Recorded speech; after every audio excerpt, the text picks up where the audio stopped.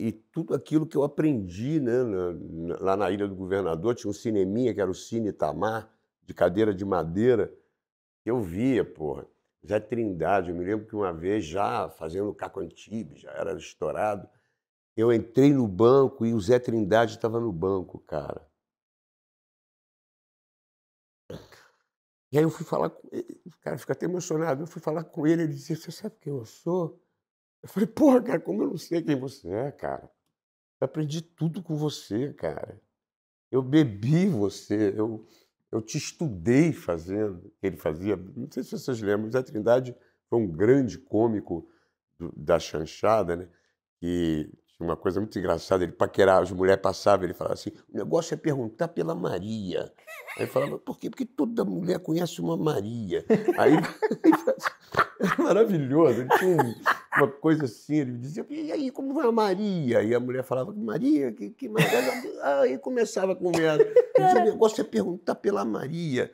Ele tinha uns um jargões assim, ele era genial. E, e, então eu acho bonito isso, porque de uma certa forma eu, eu trago isso, né? isso de alguma forma eu interiorizei, eu elaborei, eu trouxe da minha maneira e eu passei, eu tive com o Fábio Porchat em, em Lisboa, eu estava lá, ele também estava lá, e ele falou isso também. Ele falou, Miguel, eu te assisti não sei quantas vezes no teatro, entendeu? Então é muito bacana isso, porque, claro, e deve ter uma molecada que vê o Fábio e que seguirá. Então, de uma certa forma, é um DNA Sim. que, que, Sim. que vai. E, e que, no, em última análise, é a civilização, né? E tem uma coisa sua que, assim, para mim é, é fantástico. Uma coisa que você tem que é o deboche.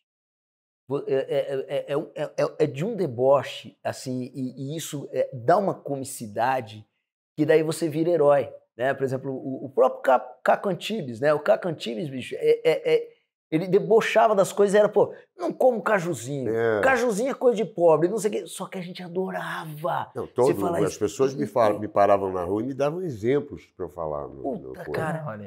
As pessoas queriam que eu. Miguel, fala disso. Fala disso, que na minha casa a gente faz isso. É Para botar o pano de prato em cima do sanduíche para não ressecar. Entendeu? O teu pano de prato molhado em cima do sanduíche. As pessoas falavam para mim. E muita coisa eu trouxe da minha vida. Eu sou da Ilha do Governador, eu sou de classe média. Então, né, tinha aquelas coisas, botava o aniversário, botava o bolo em cima da geladeira com quatro xicrinhas de álcool para esconder. que maravilha. Coca-Cola. Coca-Cola para não tirar o gás que É, foi a Botava, colherzinha. botava colher. Então, essas coisas são geniais, porque são, eh, são coisas da cultura popular. O que eu acho que a gente não pode confundir, é preciso se fazer um- um- um- uma divisão, separar o trigo do joio, é que existe o popular e existe o popularesco, que é o Uhum. apelativo Sim. que é o, o que, que vai para o grosseiro, que vai para o banal, que não. Você pode ser popular, e eu sou uma pessoa popular, eu sou um comediante popular. E tenho muito orgulho de ser. Inclusive, em Portugal, eles falam: o menino é revisteiro, o menino é de revista. E eu tenho muito orgulho de ser revisteiro, porque é uma tradição do teatro. O, o musical brasileiro original era na revista É. né? É que a revista acabou e hoje em dia a gente faz Broadway. Mas o musical original brasileiro era na revista, era na revista que se lançavam os grandes sucessos. Né? Havia os cantores, havia os cômicos, havia as gostosas, as mulheres que desciam de, de biquíni, e, e era um grande sucesso. Então, a chanchada, o cinema brasileiro tinha um grande público, né? um público gigantesco na época do Oscarito. Tem fotos, né? Você vê assim as filas virando o quarteirão.